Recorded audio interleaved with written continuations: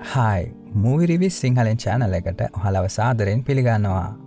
මේ වීඩියෝ එකෙන් අපි කතා කරන්නේ දෙදස් දාහතරදි රිලිස් වන ද ඉන්විසිබල් බෝයි කියන ඉතාලියන් ෆිල්ම් එක ගැනයි. කතාව පටන් ගද්දි ඉතාලිය නගරයක ඉන්න මිකේලෙ කියන පිරිමිලම්මයා එයාගේ ස්කෝලට බයිසිකලය පැදගෙන යනවා. එයා යුරෝ පණහක නෝට්ටුවක් ළඟතියාගෙන ආසාාවෙන් ඉන්නේ පාටියකට මේ ස්පයිඩමෑන් ඇඳුම ඇඳගෙන යන්න උන්නත් මේ කඩේ දැන් වහල නිසා එයාට ඒ ඇඳුම ගන්න පුළුවන් වෙන්නේ නැහැ. මිකේල හැමදාම වගේ පන්තියේදි ඉඳගන්නේ එයා කාලයක් තිස්සේ කැමැත්තෙන් ඉන්න ස්ටෙලා පිටි පස්සෙන්.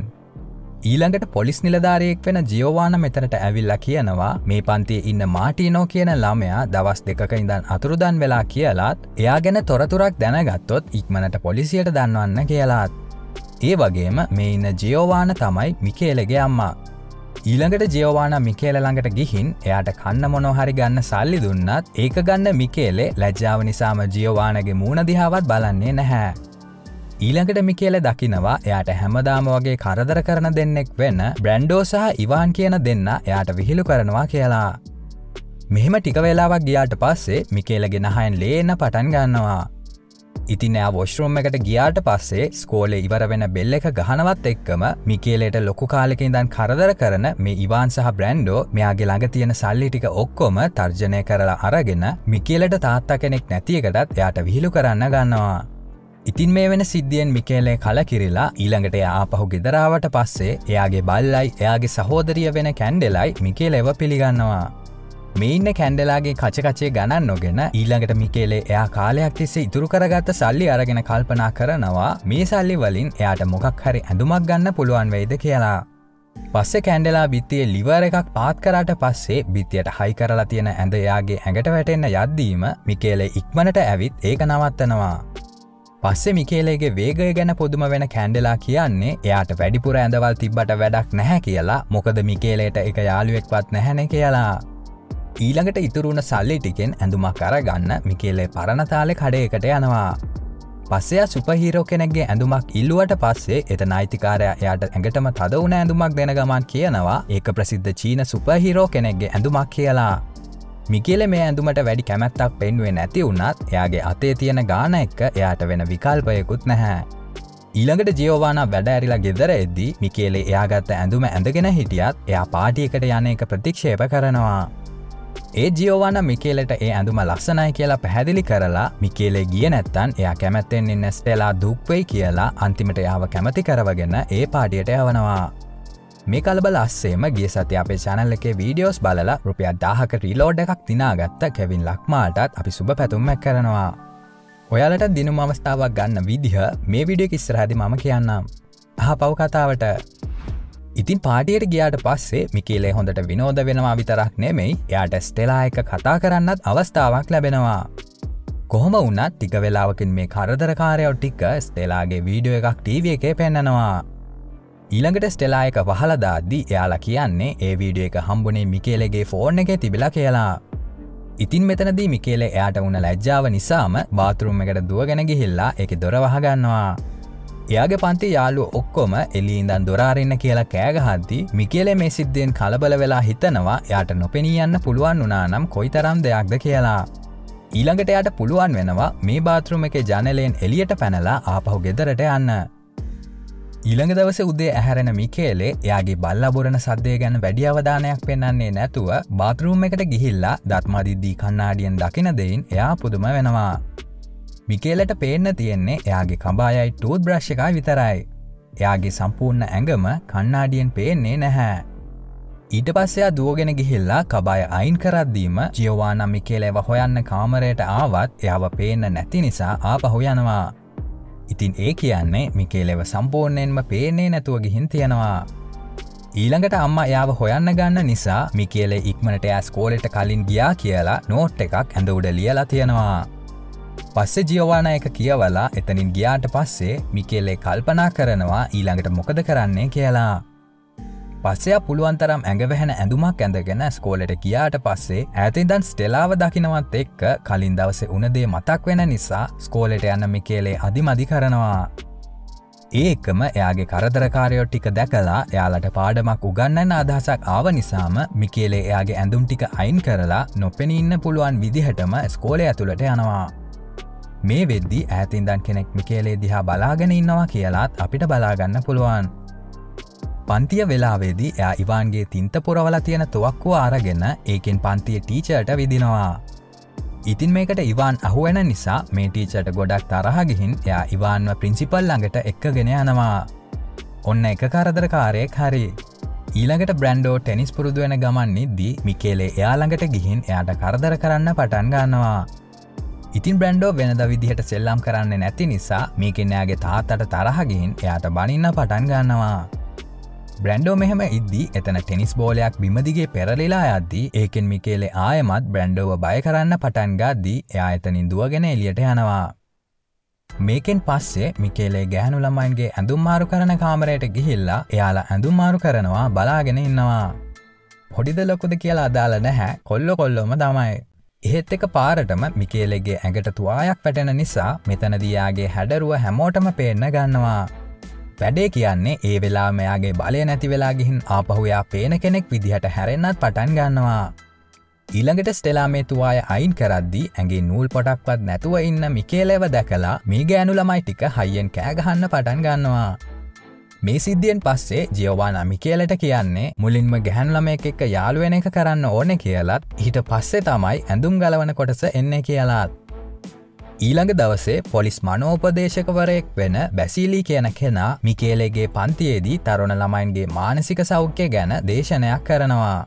මොකද මේ වෙද්දී පන්තිය ළමයි දෙන්නෙක් අතුරුදන් වෙලා තියෙන නිසාත් ඒ දෙන්නම ගෙවල්වලින් පැනලගිය විදිහට සාක්ෂි තියෙන නිසාත්. මිකේලේ මේ දේශනයට ඇහුම්කන් දීගෙන ඉද්දී එක පාරම එයාගේ අත් නොපෙනී යන්න පටන් ගන්නවා. ඉතින් මේකෙන් එයා කලබල වෙන්න පටන් ගද්දි එයා දකිනවා හොඳ වෙලාවට ස්කෝල ඉවර වෙන්න ළඟයි කියලා. මිකේලගේ හැසිරීමේ වෙනසක් දකින බැසිලි ඊළඟට එයාළඟට එද්දීම ස්කෝලේ බෙල්ල එක ගහන නිසා මිකේලේ ඉක්මනට එතනින් දුවගෙන යනවා.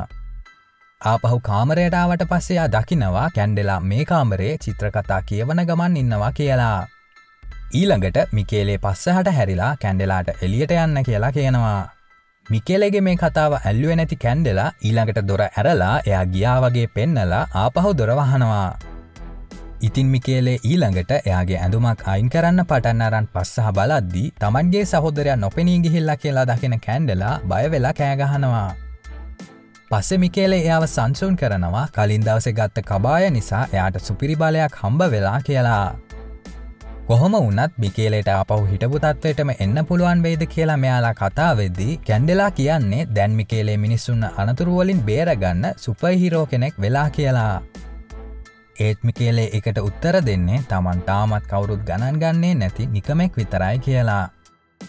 ඊළඟට වැඩ ඉවර වෙලා ජයවාන ගෙදර එද්දීත් මිකේලේ තාමත් ඉන්නේ මෙ නොපෙරී ඉන්න ස්වරූපයෙන්.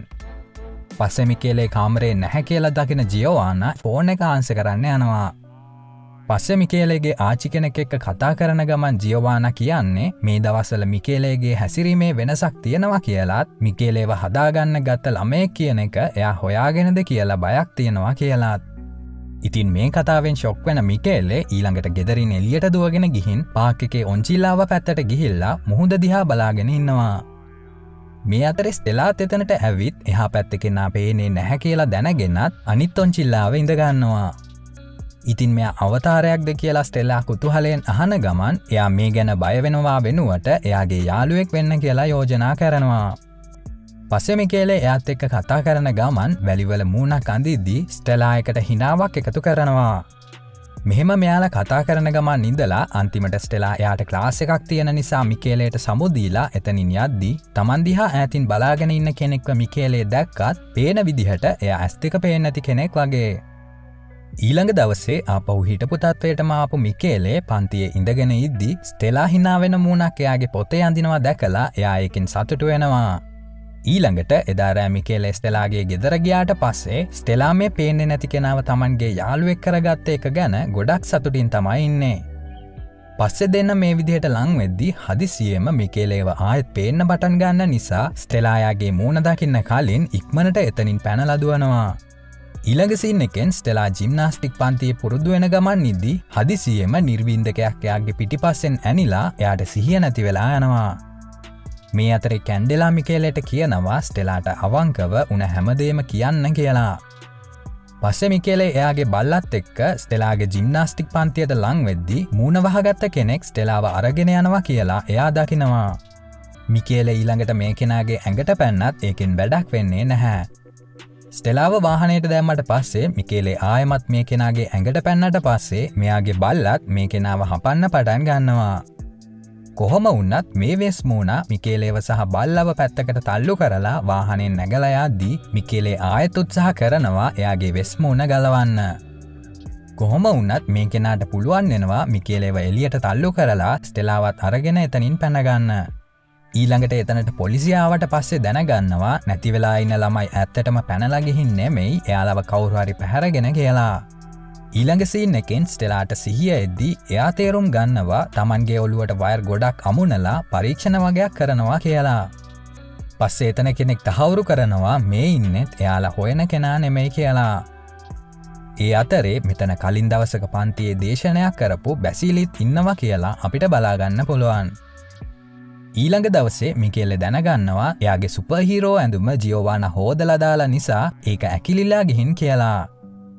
ඉතින් ඒ ඇඳුමේ කුණු තිබුණ නිසා හෝදලා දැම්ම කියලා ජියෝවාන කියද්දී මිකෙලේ කෑගහනවා එයා ජියෝවානට වෛර කරනවා කියලාත් එයා තමන්ගේ අම්ම නෙමේ කියලා තමන් දන්නවා කියලාත්. මේ අතරේ පරීක්ෂණාගාරයේ දිස්ටෙලාව කාමරයක හිර කරද්දී එයාට අතුරුදන් වෙලා හිටපු මාටිනෝ සහ බ්‍රැන්්ඩෝ කියන ළමයි දෙන්නවත් හම්බ වෙනවා. මේ අතරේ මිකේලෙ තරහෙන් බීච් එක ඉන්නේ එයාගේ ඇඳුම අඳින්න බැරි එකෙන් දැන් නොපෙනී යන්න බලයක් නැතිවෙලා ගිහින් නිසා ස්ටෙලාව බේරගන්න විදිහක් ගැන හිතන ගමන්. ඒත් හදිසියම කලින් හිටපු ඇස්පේනේ නැති ඇන්ඩ්‍රේ කියන කෙනා මෙතනට ඇවිත් කියනවා මිකේලේට නොපෙනී යන්න පුළුවන් බලය ඒ ඇඳුමේ තියෙන දෙයක් නෙමෙයි කියලා. මෙයායික ගැන දැනගත්ත එකෙන් මිකේලේ පුදුම වෙද්දී එයා කියනවා එයාට හිත් කියවන්න පුළුවන් කියලාත් එයා ඇත්තටම මිකේලේගේ තාත්තා කියලාත් ඉතින් මේ කතාව විශ්වාස කරන්නේ නැති මිකේලේ ඊළඟට එයා බොරු කියනවා කියලා චෝදනා කරනවා. පස්සේ ඇන්ඩ්‍රේ මුල ඉඳලම එයාගේ කතාව කියන්න පටන් ගන්නවා. නියස්ටික පිපිරීමක් වෙන්න කලින් එයා රුසියාවේ පොඩි නගර එක හිටපු සාමාන්‍ය කෙනෙක්. මේ නියස්ටික විකිරණ නිසා ගොඩක් අයට මැරෙන්න සිද්ධ වුණත් සමහර අයගේ DNA විකෘති වෙන්න පටන් අරගෙන ඒකෙන් එයාලට පියාම්බන්න හිත් කියවන්න වගේම නොපෙනී යන්න වගේ හැකියාවන් ලැබිලා තියෙනවා. ඉතින් මේ අයව හමුදාවෙන් විශේෂ මෙහෙයුම් වලට ආයුධ විදිහට පාවිච්චි කරන්න හමුදා කඳවරුවලට ගෙන්න්න ගෙන තියෙනවා. ඒත් හමුදාවෙන් දිගින් දිගටම මෙයාලගේ හැකියාවලින් වැඩගද්දි එයාලට ඒක දරාගන්න බැරි වෙලා ගොඩක් දුර්වල වෙලා යනවා වගේම ඒක ප්‍රතිඵලයක් විදිහට මේ ඉන්න ඇන්ඩ්‍රගේ ඇස්පේනෙ නැති වෙලා ගිහින් තියෙනවා. මේ කඳවරේදී ඇන්ඩ්‍රේට නොපෙනී යන්න පුළුවන් බලයක් තියෙන යෙලේනාව හම්බ වෙනවා වගේම එයාලට ලැබුණ ළමයා තමයි මිකේලය කියලා කියන්නේ. කොහොම වන්නත් මේ විශේෂලම්මයා ඉපදෙනවත් එක්කම කඳවුරයා එයාගෙන් පරීක්ෂණ කරන්න පටන් ගන්න නිසා යෙලේන ඇන්ඩ්‍රේ එක එකතු වෙලා මිකේලේවත් අරගෙන මේ කඳවුරෙන් පැනලයනවා. ඒත් කඳවුරේ අයත් මෙයාලගේ පස්සෙන්ම එද්දී යෙලේනයාගේ හැකියාවෙන් කඳවුරයාගේ අවධානය හරවද්දී ඇන්ඩ්‍රේට මිකේල එක්ක එතනින් පැනගන්න පුළුවන් වෙනවා. ඊළඟට යෙලේ නමයාල එක්ක ෆයිට් කරන්න පටන් ගත්තත් අන්තිමට කඳවුරේ නායකෙක් එයාට වෙඩි තියෙනවා. පස්සේ කඳවරයා දිගින් දිකටම ඇන්ඩ්‍රේව හොයන නිසා මිකේලේගේ ආරක්ෂාව ගැන හිතලා එයා ජියෝවානගේ ගෙදර ළඟ මිකේලේව තියලා යන්නේ ජියවාන කියන හොඳ කෙනෙක් කියන එක මනසින් කියවලා දැනගෙන. ඉතින් වර්තමානය වෙද්දි මේ විශේෂ කඳවරයායට දැනගන්න ලැබිලා තියෙනවා මේ විශේෂ ළමයා මේ නගරේ ජීවත්වෙනවා කියලා. ඉතින් ඒ නිසා තමයි එයාලා ළමයින්ව කිඩ්නැප් කරන්න පටන් අරගෙන එයාලට විශේෂ හැකියාවන් තියෙනවද කියලා පරීක්ෂණ කරලා බලන්නේ. ඉතින් මේ කතා වහලා ශොක් වෙලා ඉන්න මිකේලේට මේ කිසිම දෙයක් විශ්වාස කරන්නවත් බැරිතරම්. ඒත් ඇන්ඩ්‍රේ පස්සහින් ඉන්න මාල්ුවල්ලන කෙනගේ හිත කියවන ගමන් මිකේලට කියනවා එයාලට කතා කර කර ඉන්න වැඩි කාලයක් නැහැ කියලා මොකද ඇන්ඩ්‍රේ මිකේලේව පැහැරගනී කියලා සැකේට මේ කෙනා දැනටමත් පොලිසියට කතා කරලා තියෙන නිසා. ඊළඟට ඇන්ඩ්‍රේ මිකේලේට ඇඳගෙන ඉදීත් නොපෙනී ඉන්න පුළුවන් ඇඳුමක් දීලා මාළුවල්ලන කෙනගේ මතකයක් නැති කරලා එතනින් යනවා. ඊළඟට පොලිසිය බැසිලිත් එක්ක මෙතනට ආවට පස්සේ මිකේලේ කියන්නේ හදාගන්න ගත්ත ළමයෙක් කියලා ජියෝවාන එලි කරද්දි බැසිලිට සැකයක් එනවා ඒ මෙයාලා හොයන විශේෂ දරුවා වෙන්න ඉඩ තියෙනවා කියලා. පස්සේ අජියෝවානා වැඩ කරනකන් මිකේලේව ගෙදර එක්කන් යන්නම් කියලා ඉදිරිපත් වෙනවා. අන්න අම්මේ මෙයාගේ ආදරේ මෙහෙම යාල ගෙදරාවට පස්සේ බැසිලිගේ අතේ තුවාලයක් තියෙනවා කියලා මිකේල දකිනවා. ඒක හරියටම ස්ටෙලාව බේරගන්න යද්දි මිකේලගේ බල්ලහපපු තුවාලය වගේම නිසා එයාට බැසිලි ගැන සැකයක් හිතිලා එතනින් පැනල යන්න උත්සාහ කරනවා. කොහොම වන්නත් මේ ගෙදර දැන් හැම දොරක්ම ලොක් කරලා තමයි තියෙන්නේ. ඊළඟට මිකේල කාමරයකට ගිහින් එයට හම්බුන විශේෂ ඇඳුමත් ඇඳගෙන ආපහු නොපෙනී යන්න ගන්නවා. පස්සේ බැසිලියයාගේ පස්සෙන් පන්නද්දි මිකේලට පුළුවන් වෙනවා එක ජනේලෙකින් එලියට පැනගන්න. ඉතින් මෙහෙම පාරටාවට පස්සෙ මිකේලෙ දකිනවා එයාගේ කරදරකාරයෙක් වෙන ඉවාන් බයික් එකක නැගලා ඉන්නවා කියලා. ඊළඟට මෙයා මේ බයික එකේ පස්සහෙන් ඉඳගෙන ඉවාන්ට හයියෙන් යන්න කියලා කියනවා. ඉතින් මේකෙන් නිවාන් කලබල වෙන හින්දා ආරක්ෂාව තියෙන තැනකට ගිහින් තීරණය කරනවා මේ පේනෙන් නැති භූතයාගේ අන්න පිළිපදින එක නතර කරන්න. පස්සයා මිකේලට පාරක් ගහන්න ගියත් මිකේලයාගේ වෙස්මූුණ අයින් කරනවා. ඊළඟට එයා පන්තිය යාළුවන්ව කිඩ්නැප් කරපු එක ගැන විස්තර හැමදේම ඉවාන්ට කියන්න පටන් ගන්නවා. මේ අතරේ ජියෝවාන ගෙදරාවට පස්සේ එතන වෙලා තියෙන කලබලය දකිනවත් එක්කම එතනට ඇන්ඩ්‍රේ තෙනවා. ඊළඟසින් එකෙන් යාළුවොත් එක්ක එකතුන ස්ටෙලාට පුළුවන් වෙනවා මෙතන සිවිලිමේ තියෙන කවුලුවකින් එලියට පැනගන්න. ඊළඟට එයා දකිනවා එතන කාමරයක වයසක කෙනෙක් හිරවෙලා ඉන්නවා කියලා. පස්සේ ස්ටලා කුළුණකට නැගලා ලොකු ස්පොට්ලයිට් එකක හිනාවෙන මූුණක් ඇඳලා ඒක අහස පැත්තට හරවන්නේ එයාගින් නොපෙනෙන යාළුව මේක දකී කියලා හිතාගෙන. ඉතින් මේක දකින මිකේලේ ඉවාන් එක්ක එකතු වෙලා ඉක්මනට ඒ පැත්තට යන්න පටන් ගන්නවා. කොහොම වනත් මෙයාලා මෙතනට ලංවෙද්දීම එතන මුරකාරයන්ට ස්ටෙලාව අහුවෙන නිසා ආයමත් එයාව කාමරයක හිර කරනවා. ඊළඟට ඉවන්යාගේ තින්ත විදින තුවක්කෝ පාවිච්චි කරලා එතන විදුලි පද්ධතියට වෙඩිතියද්දී නොපෙනීන්න පුළුවන් මිකේලේ ඉක්මනට ඇතුළට පැනගන්නවා. ඊළඟට මිකේලේව හොයන්න පටන් ගත්ත ඇන්ඩ්‍රේ සහ ජියෝවානාව බැසිලියයාගේ කට්ටියත් එක්ක එකතු වෙලා බලන්ඉන්නවා කියලත් මිකේලෙ දකිනවා.